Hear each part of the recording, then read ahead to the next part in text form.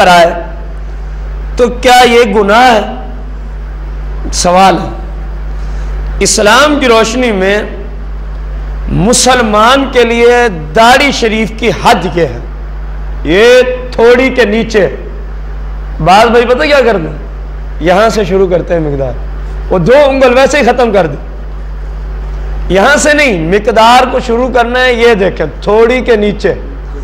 मुट्ठी बना थोड़ी के नीचे रखे।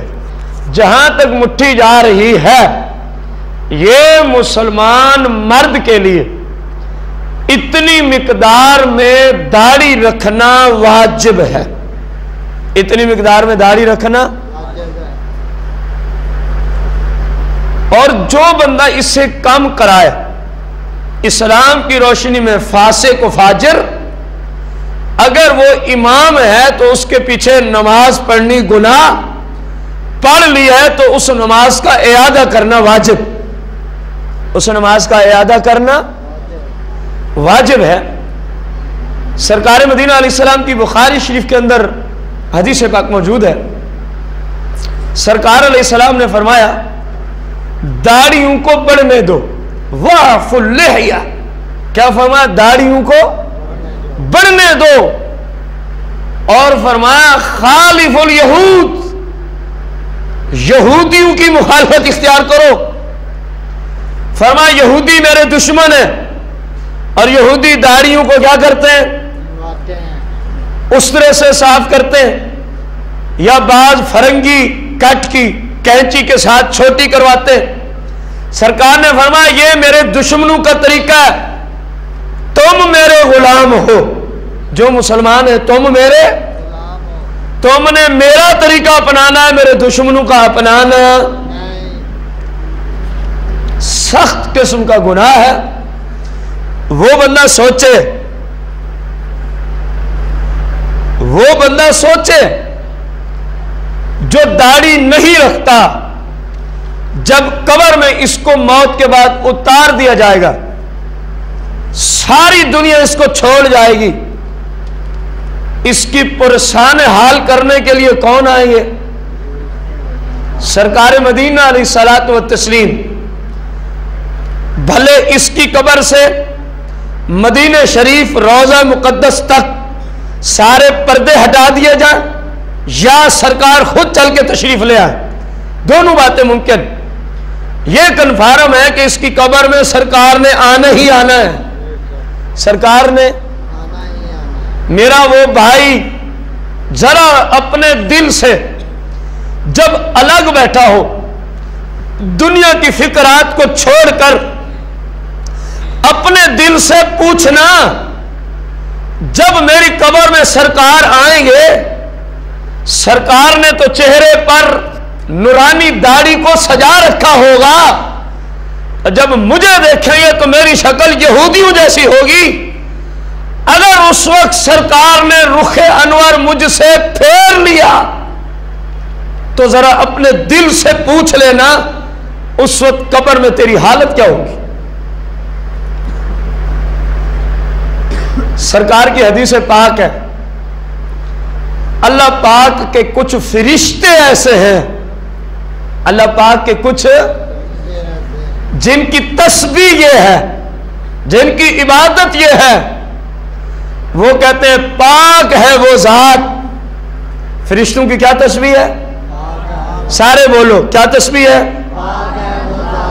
जिसने मर्दों को दाढ़ी देकर हुस्न बख्शा। फरिश्तों की क्या इबादत तो तस्वीर है? दोहराए हदीस का तर्जमा। पाक है वो जात नहीं, सारे बोलो। पाक है वो जात, जिसने मर्दों को दाढ़ियाँ देकर हुस्न अता फरमाया। अगला हिस्सा सुने। और फरिश्तों की यह तस्वीर है जो कहते हैं, पाक है वो जात, जिसने औरतों को लंबे लंबे बाल देकर हुसन अदा फरमाया। औरतों को लंबे लंबे बाल देकर गौर तो करो, फरिश्तों की तस्वीर यह हो कि पाक है वो जात जिसने मर्दों को दाढ़ियाँ अता करके हौसल अता फरमाया और औरतों को लंबे लंबे गैसू बाल देकर जीनत अता फरमाई है। पता नहीं इन लोगों को क्या हो गया है। जिनको दाढ़ियाँ दे के दिया गया वो दाढ़ियाँ कतराने के पीछे पड़े हुए हैं। जिनको बाल दे के जीनत दी गई वो बाल काटने के पीछे पड़ी हुई है। मैं कहता हूँ, अल्लाह तुम्हारी शक्ल किसी और तरह की बनाता है। तुम अल्लाह की बनाई हुई तखलीक को बिगाड़ते हो। अल्लाह की बनाई हुई तखलीक को बिगाड़ना हराम है कि नहीं है? फ़र्ज़ करते हैं। एक बंदा अपने हाथ की किसी उंगल को जबकि कोई मर्ज ना हो कोई ऐसा मर्ज है कि डॉक्टरों ने कहा, इसको काट डालो, वरना कल को हाथ। अगर हाथ नहीं काटोगे तो फिर पूरा जिस तरह कैंसर वगैरह के मुजी मर्ज। उसकी बात नहीं हो रही, मुतलकन। जिस तरह मैं हूँ, अलहमदुल्ला, मुझे इस तरह का कोई मर्ज नहीं है। अब मैं अगर अपनी उंगली काटना चाहूँ, हालाँकि मेरी अपनी उंगली है, इस्लाम में यह हराम है, क्योंकि यह मुसला है। क्या है? अल्लाह की तखलीक को बिगाड़ना है। और इसी तरह मर्द के हक में दाढ़ी को काटना क्या है? अल्लाह की तखलीक को बिगाड़ना है। और यह शैतानी फेल है। यह क्या है? दाढ़ी मुंडाने वाला, कतराने वाला, एक मुठ से कम करने वाला। सब के सब फासिक, फाजिर, मरदूद शहादा और नमाज़ पढ़ाने के काबिल। मुसलमान का तो काम यह है कि वो अपनी दाढ़ी जैसे आए, उसको हाथ ना लगाए। हाँ जब हद से ज़्यादा लंबी हो जाए, जो इस्लाम ने हद रखी, अब उसको कैंची से काटने की शर्म इजाज़त। ये देख, अगर यहाँ से बढ़ जाए तो कैंची से काट डाल। अगर किसी बंदे की दाढ़ी आई ही इतनी है, वो काटता नहीं, लेकिन उस दाढ़ी ने मिकदार को पूरा, उसके पीछे नमाज़ हो जाएगी, वो बिल्कुल ठीक है। क्योंकि गुनाहगार तो तब होगा ना जब मिकदार से कम करेगा। एक को अल्लाह ने दी ही इतनी है तो वो क्यों गुनाहगार होगा? वो काटता ही नहीं है। सल्लु अलल हबीब। आपसे इसी पर मेरा एक सवाल है। अल्लाह ने जितने नबी और पैगंबर भेजे, सबके चेहरों पे दाढ़ी थी कि नहीं? ऊँची बोलो। इसी पर फिर सवाल है। अल्लाह का नबी जिस जमाने में भी आया, तमाम जमाने वालों से ज़्यादा हसीनो जमील होता था कि नहीं? ऊँची तो बोलो। और बाज के हुसन के चर्चे तो ऐसे हैं, भूखे देखें तो भूख जाती रहे, प्यासे देखें तो प्यास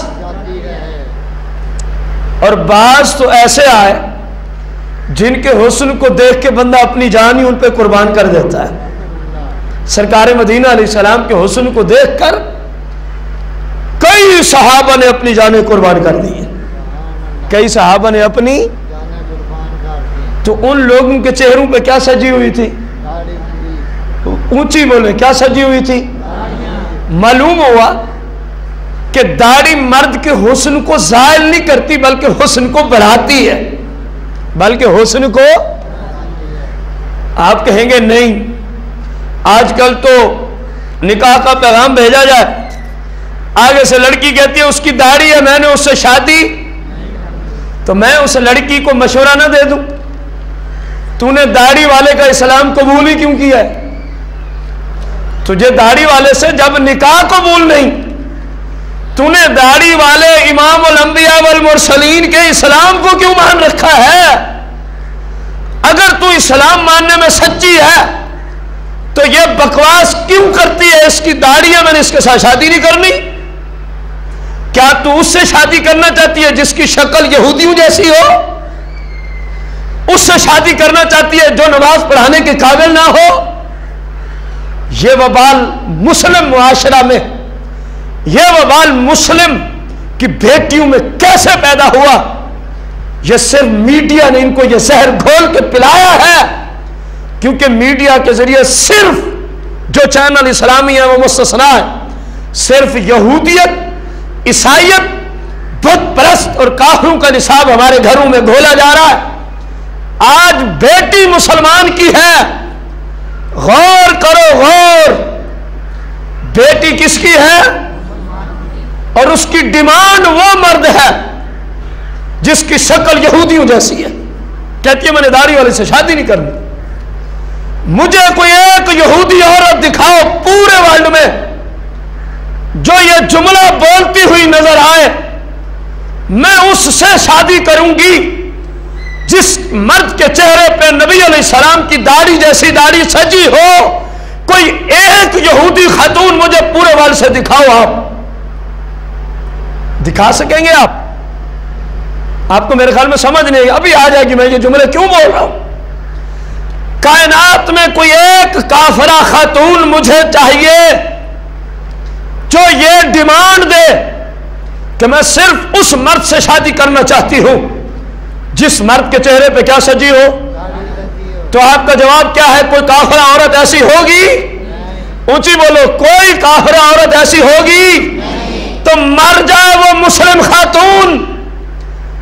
कोई काफरा औरत के तरीके की डिमांड नहीं करती। तू मुसलमान हो के यहूदियों की, काफरों के तरीके की डिमांड करती है कि जिस मर्द का चेहरा यहूदियों जैसा हो, जिसकी दाढ़ी ना हो, मैंने उससे शादी करनी है। ऐसी मुस्लिम खातून को मर जाना चाहिए कि नहीं? तेरी ये बकवास कि मैं इससे इसलिए शादी नहीं करती क्योंकि इसने चेहरे पे क्या सजाई है? जब तू मरेगी ना, तुझे इसका बड़ा अच्छा जवाब फरिश्ते देंगे। जब तेरी कबर में जहन्नम की खिड़की खोल दी जाएगी और कह दिया जाएगा, तूने हमारे नबी सलाम की सुन्नत की तोहीन की थी और जो नबी पाक जिस चीज़ को चेहरे से सजाए, नबी पाक की जात कलमा पढ़ने वाली या कलमा पढ़ने वाला उससे नफरत करे, बताए वो उम्मती कहलवाने का मुस्तक है। नहीं, मुझे तो नफरत नहीं है तो फिर बकवास क्यों की? है कि मैंने इससे शादी नहीं करनी, क्योंकि इसके अंदर एक ऐब है। पूछा गया माज अल्लाह वो कौन सा ऐब है? कहने लगी, क्योंकि इसकी शक्ल यहूदियों जैसी नहीं। इसकी शक्ल तो सरकार की सुन्नत पे सजी हुई है। खुदा का नाम लो, मर जाओगे, कब्र आखिरत बर्बाद हो जाएगी। सिवाय नबी सलाम की सुन्नत के कब्र आखरत बंदे की संवर, आपके तरीके पे चलेंगे तो जान छूटेगी। वरना यहाँ तो चलना नहीं पाया जा रहा। यहाँ तो सरकार की सुन्नत की तोहीन की जा रही है। क्या की जा रही है? देखें, कोई लड़की किसी लड़के से निकाह से कब इनकार करती है जब उस लड़के में कोई ऐब पाया जाता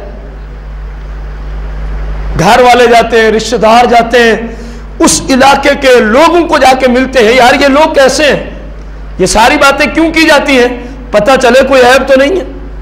यही होता है कि नहीं होता? अब जो कह रही है, मैंने इससे शादी नहीं करवानी, क्योंकि इसके चेहरे पे? वो खुद सोचे, जब तू कबर में पहुंचेगी तो सरकार आएँगे, सरकार के चेहरे पे भी दाढ़ी होगी। फिर सरकार तुझसे नहीं पूछेंगे, तू मेरी उम्मती नहीं है। फिर तू रोएगी, चिल्लाएगी, चीखेगी। यार सुनो, मैं तो आपकी उम्मती हूँ सरकार फरमाई अगर तू मेरी होती तो जिस चीज़ को मैंने चेहरे पे सजाया, तुझे उससे मोहब्बत ना होती। तू तो कहती थी, मुझे दाढ़ी वाले अच्छे नहीं लगते मुझे दाढ़ी वाले वो मर्द भी कान खोल के सुने, जो इन लौंडियों की वजह से दाढ़ियों कतराते हैं। वो औरत औरत ही नहीं है, वो लौंडी है।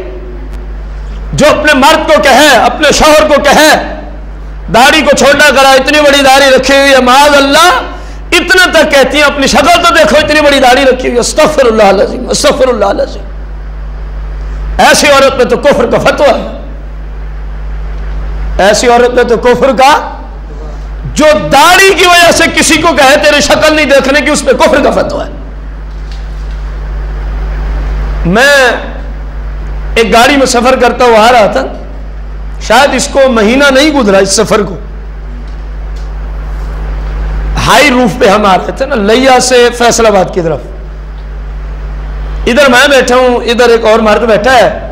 साथ उसके बच्चे, आगे उसकी बीवी। उसने दाढ़ी जो है वो कैंची से कतरवाई हुई थी। अब मैं ये जुमले सुन रहा हूँ। बीवी कह रही है गाड़ी में बैठे हुए बेहयाई देखो।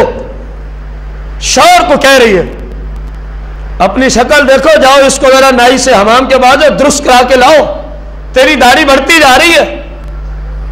अब वो कह रहा है कि ये ठीक है। उसने क्या जवाब दिया? उसने कहा, हराम है दाढ़ी को कतरवाना। तू कह रही अपनी शक्ल को देख। मैंने देखा इस मर्द के अंदर ना कुछ इस्लामी जज्बा है। कुछ इस्लामी मैंने उस भाई साहब से